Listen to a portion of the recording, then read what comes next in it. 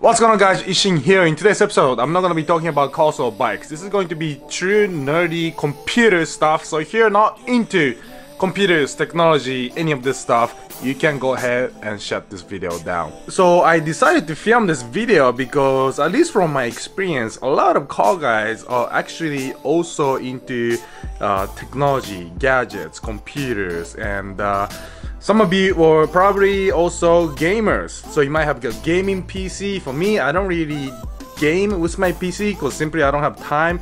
I used to play like Warcraft, Starcraft, uh, strategy games, but nowadays my computer is strictly used for editing. And I decided to upgrade it recently. I started filming more and pumping more content. I realized that my GPU is lacking. So I'm gonna do a quick video today on my current setup what I'm upgrading to and the reason why I'm upgrading to that. So first of all, I'm gonna pull out my desktop PC out of where it is so I can access the guts of it, which is this thing right here sitting under my desk.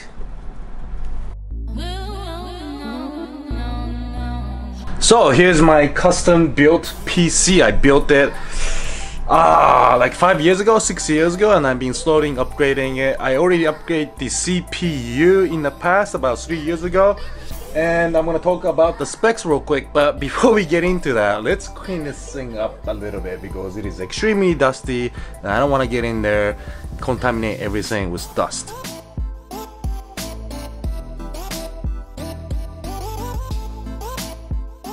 Alright, now that it's cleaned up, let's get into it let you guys know what kind of uh, setup I have in there and another reason why I wanted to do this video is to help out those of you who want to get into YouTubing and edit uh, videos in Adobe Premiere um, although it was getting slow and the amount of information I wanted to process what it was getting just bigger and bigger uh, you can get away with this setup that I had. I mean, I was running this setup for like five, six years and I never really had a problem. So if you want to get into it, you know, if you don't want to invest like $2,000, $3,000 into your editing gaming PC, then this might be a solution for you because I probably spent uh, $1,200 tops. This might be a good example of the type of setup I have, the type of hardware I have in this PC to get you started with editing videos on YouTube. So let's just get into it. So first of all, this is the case. It's a full tower, so it's a full size case. It's actually humongous. I wanted to make sure I have room for upgrades like the one I'm doing today in the future because when I started building this PC I wasn't sure how far I wanted to go with building it but nowadays I'm kind of happy that I with full tower so I can just keep expanding memory, hard drive, all that space. And this is the Corsair 760T. Like I said, it's a full tower, so it's full size. What's cool about this is the glass panel on the left and right is sees through, so you can look directly into it. It's got nice LEDs that lights everything up, and uh, you have access to it from the left and right side because both sides open. So back of it's cable management the front is where all the fancy stuff is located. So in here is the motherboard right in the center. That's the ASRock X99 motherboard. I have no problem with that. The CPU I'm using, which is uh, located under the cooler here, is the Intel Core i7 5820K 3.3 gigahertz. Good CPU, but it might be starting to slow down a little bit with all the processing that I do. It's probably going to be the next thing I'll upgrade as I'm upgrading the GPU and eventually CPU has to keep up to that. So I have the EVGA 7 GTX 760 GPU in here. This was okay at the time, but like I said, it's now starting to slow down. So what I'm upgrading to now is this bad boy over here. This here is the GTX 1080 and this is the hybrid FTW hybrid version which means it's got a liquid cooling system like a car which is kind of cool I have never had a GPU that's liquid cools so I'm gonna try this out I got it for 589 a Micro Center and I don't know you guys know computers that you could have gone with 1080 Ti but honestly uh, 589 is still a lot of money and I did not want to spend any more money I think Ti would have been maybe overkill for Adobe Premiere anyways so I'm gonna start with the 1080 and then maybe upgrade the CPU before I get the TI in the future or whatever GPU is coming out next year or year after or you know, this GPU 1080 is probably gonna be good for like next three years. So I don't plan on upgrading anytime soon. So that's the major upgrade I'm gonna be installing today. Aside from that, I have the 750 watt Corsair uh, power unit. Right now I'm running SSD, solid state hard drive, which is 250 gigs for the uh, the C drive.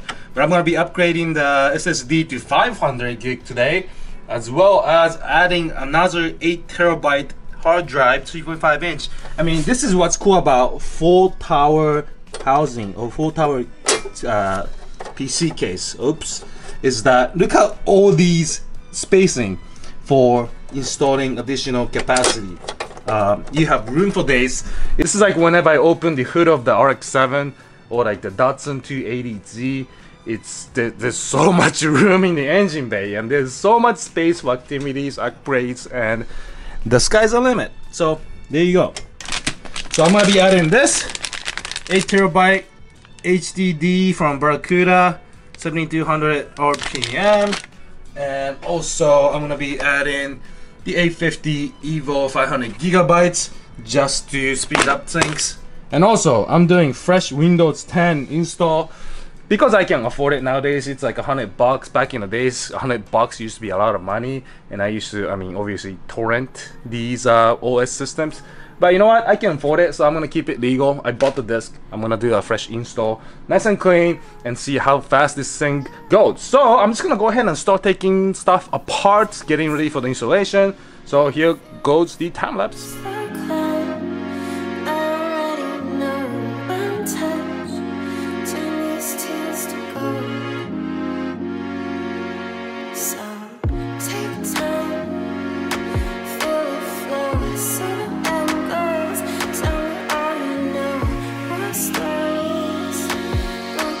Alright guys, so the GPU is in. That was pretty much straightforward. All I did was take this old one out and then replace it with this unit. Same power supply going into it, two ports.